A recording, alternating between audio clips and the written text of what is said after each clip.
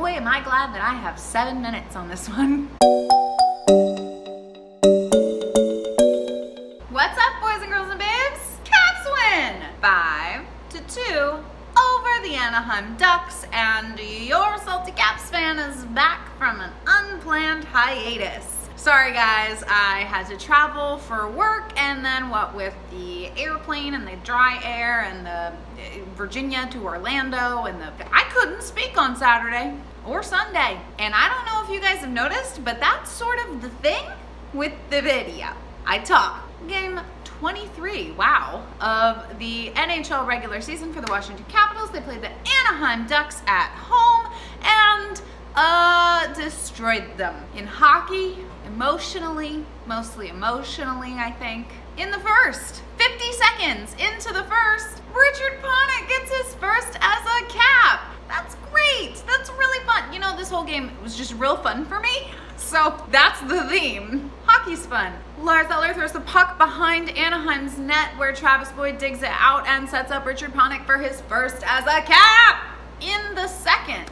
619 into the second, I actually wrote it down this time. Rowney of the Anaheim Ducks did a crime. He slashed my tiny baby son, Jakub Vrana, so he had to go and sit in tantrum baby jail. And the Washington Capitals have a power play. Yeah, this is my favorite goal of the night. It's an Ovechkin power play goal that begins with John Carlson walking the blue line, passes to Evgeny Kuznetsov, who fakes a snapshot with like the set of his shoulders and a little bit of magic. And John Gibson bites so hard on Evgeny Kuznetsov's fakery, just absolutely bamboozled by the lies that Evgeny Kuznetsov is telling with his body, that when Evgeny Kuznetsov passes no look cross ice to Alexander Ovechkin, there is nothing that John Gibson can do other than plunk right down on his butt and just whine like a toddler. When we're talking about Chandler Stephenson's third goal of the season, we're just gonna lay out what happened. Brendan Leipsic lays a bone crunching hit on Derek Grant, who is twice his size. Garnet Hathaway collects the puck behind the net and passes out to Chandler Stephenson, who takes a shot while everyone is distracted by three Anaheim Ducks attempting to murder Brendan Leipsic. John Gibson was also distracted, so Chandler Stephenson takes a shot and it goes in. I was surprised that the goal counted, to be honest with you. we'll talk about Spitgate later. The Washington Capitals go to a penalty kill that after all of the math will last about three minutes. Coming back for the third, they kill it. That penalty kill is no joke. At 5.54 into the third, my tiny baby son, one Mr. Jakub Vrana, gets himself his 10th of the season. It is listed as unassisted, but Alex Ovechkin carries the puck into the zone, um, and it does get a little bit stolen by a duck, but Dmitry Orlov pokes the puck away from him in between Jakub Vrana and John Gibson. Jakub Vrana takes the shot, Gibson stops the first, but Jakub Vrana pots his own rebound for his 10th of the season. Caps are up for nothing. And this is where I start to worry because it's there's 15 minutes left to play in the third.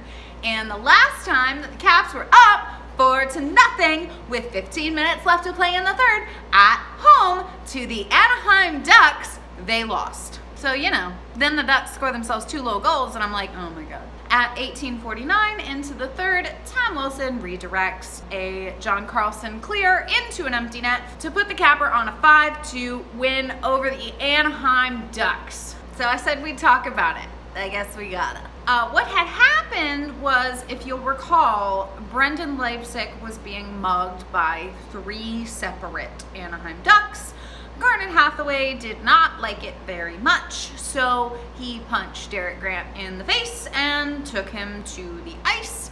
The referees come over to break everything up, and while his arms are being held behind him by an official, Erik Gudbranson punches him in the face.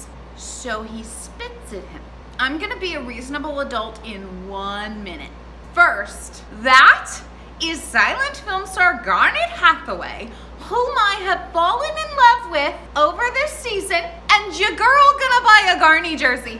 I love bad boys. Right, okay, I'm ready to be a reasonable adult. I'm gonna say just in general that we shouldn't spit at each other, especially at work. But more importantly, it is actually an infraction in the NHL.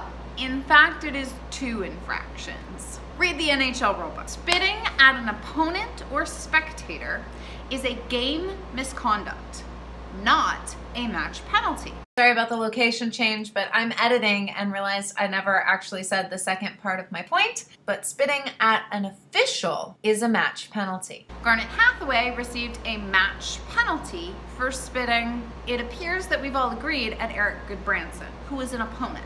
However, in between Garnet Hathaway and Erik Gudbranson was the official. Remember the official? The one who's holding Garnet Hathaway's arms behind his back? So I understand why Wes McCauley gave Garnet Hathaway a match penalty because he may have been attempting to spit at Erik Gudbranson, but there was also an official there in the splash zone. The first five rows make it wet. I guess we'll see what the league is gonna do. I hope it's not all that long. The Caps don't have any extra forwards. I don't think it's all that big a deal. God, I had so much fun. It was hilarious to me. Everything about this game was hilarious. John Gibson falling on his butt like a toddler. Brendan Leipsic absolutely trucking a man who's twice his size. And even Garnet Hathaway spitting on the ice. Are you not entertained? We are playing the Rangers tomorrow night. I want Vitek Vanacek to get the start. That's my little special goalie baby. Why not give him a game against the 8, 8, and 2 Rangers? This has been Kate, your Salty Caps fan. Bye!